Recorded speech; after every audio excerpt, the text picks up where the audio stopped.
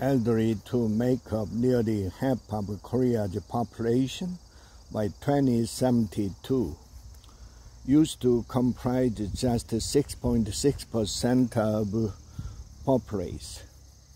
Senior citizens are projected to comprise nearly half of Korea's population by 2072, with the country aging more than twice as fast as the global average, data showed Monday.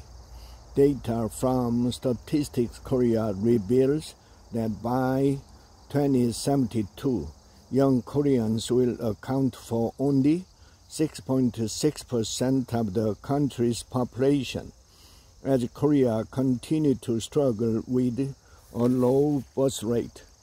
The demographic crisis will result in a great burden on younger, economically active individuals to support the elderly who will be economically inactive, according to the stats agency.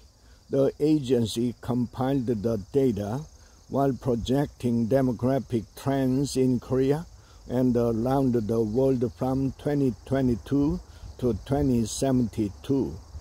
It said Korea's population is projected to decrease to 36 million by uh, 2072, down 30% from this year's estimate of 52 million.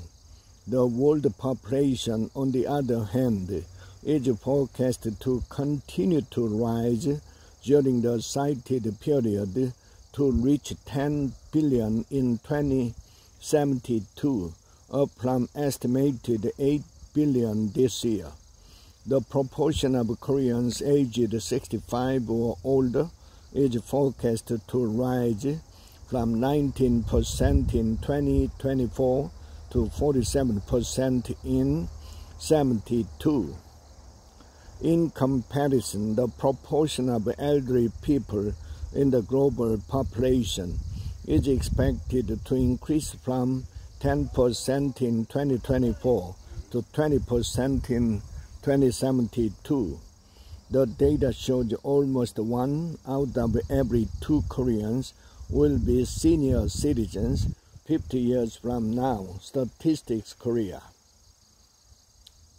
Another noteworthy finding is that in 50 years, the proportion of elderly Koreans will be more than twice as high as that of their uh, counterparts globally.